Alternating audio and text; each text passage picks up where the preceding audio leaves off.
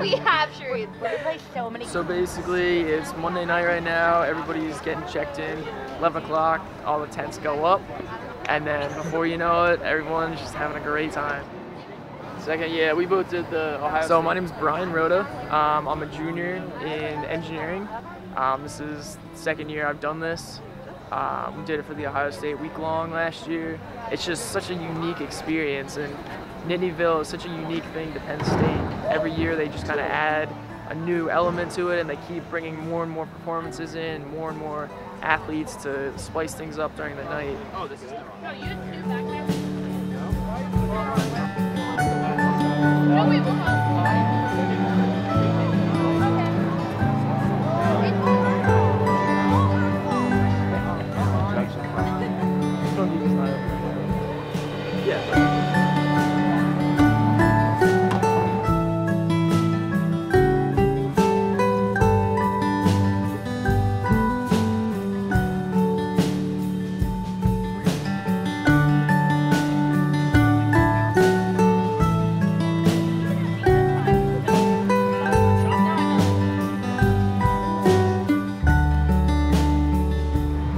So today was the dunk contest.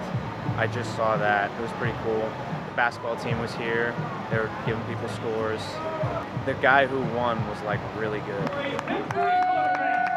I'm excited for Friday especially when everyone's going to be here. All, all of us have to sleep in the tent on Friday. It'll be nuts.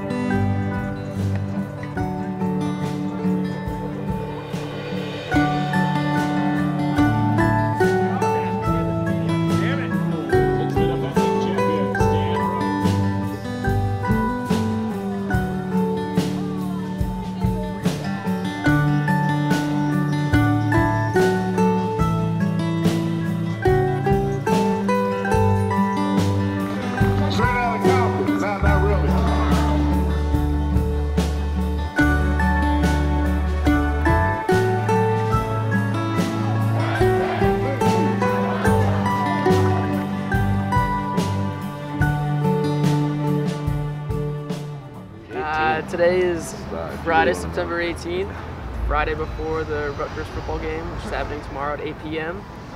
Um, it's pretty pretty calm right now, but there have been quite a few events throughout the week.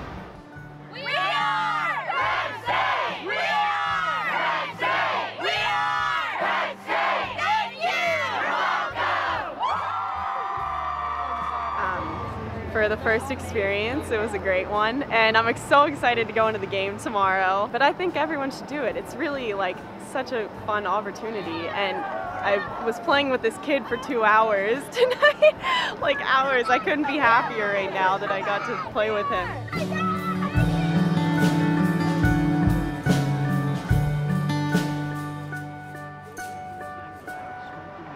Marcus